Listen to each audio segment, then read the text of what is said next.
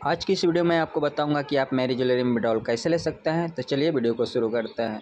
शुरू करने से पहले आपसे एक रिक्वेस्ट है, यदि आप हमारे चैनल पर नए हैं तो हमारे चैनल को सब्सक्राइब कर लीजिए और बेल आइकन को प्रेस कर लीजिए, ताकि हमारे आने वाले हर वीडियो का नोटिफिकेशन आपको मिलता रहे। तो सबसे पहले आपको क्या करना है, अपना आईडी पासवर्ड डाल के लॉगिन कर लेना है। तो जैसा कि मैं यहाँ पर मैं अपना आईडी पासवर्ड डाल के लॉगिन कर लेता हूँ।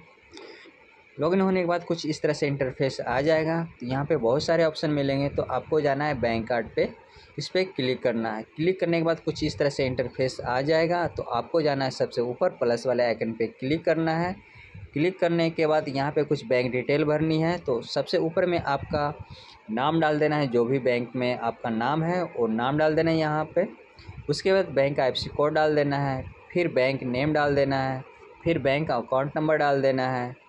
फिर जिस स्टेट में आपका अकाउंट खुला है, उस स्टेट का नाम डाल देना है, फिर सिटी का नाम डाल देना है, फिर वहाँ का एड्रेस डाल देना है, फिर अपना कोई मोबाइल नंबर डाल देना है, फिर अपना ईमेल आईडी डाल देना है, फिर नीचे आपको शो कर रहा है अकाउंट फ़ोन नंबर तो यहाँ पे आपके अकाउंट में जो मोबाइल नंबर स्टेट है, वो यहाँ पे मोबाइल नंबर डाल देना है। आपको नीचे एक ओटीपी का बटन दिख रहा होगा, उस ओटीपी पे आपको क्लिक करना है।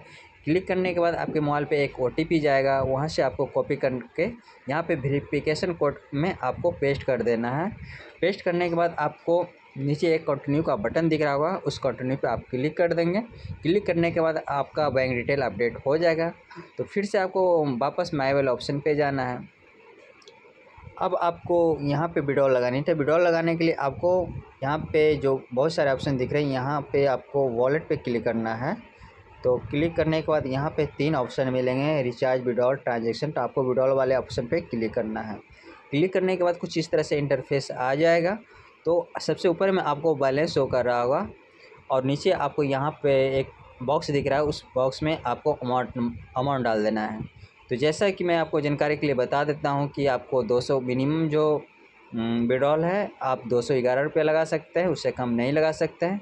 तो इस बॉक्स में आप अमाउंट डाल देंगे। उसके बाद नीचे आपको सिलेक्ट बैंक कार्ड पे क्लिक करना है। क्लिक करने के बाद आपका बैंक डिटेल आ जाएगा। उस पर आपको क्लिक करना है।